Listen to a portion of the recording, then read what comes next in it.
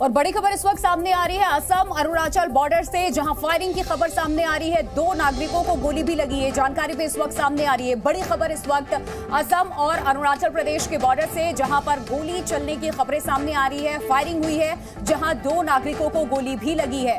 यह खबर इस वक्त असम अरुणाचल बॉर्डर के पास फायरिंग की जानकारी इस वक्त सामने आ रही है और फायरिंग में दो लोगों की मौत हुई है। ये तस्वीर इस वक्त आपके सामने है। जो तस्वीर आप देख रहे हैं असम के धेमाजी में तनाव का माहौल इस वक्त बना हुआ है और बॉर्डर के पास हुई फायरिंग दो लोगों की मौत भी हुई है।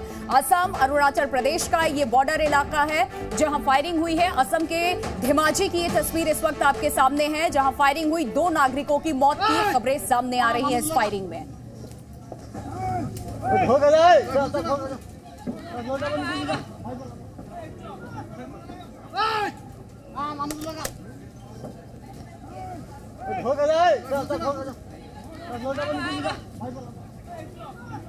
तो ये तस्वीरें इस वक्त जी न्यूज़ पे आप देख रहे हैं, जहाँ मामूली विवाद में फायरिंग हुई है, ये जानकारी शुरुआती सामने आ रही है।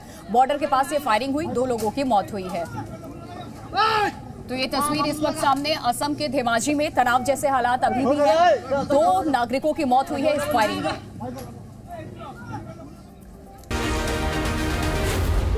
News.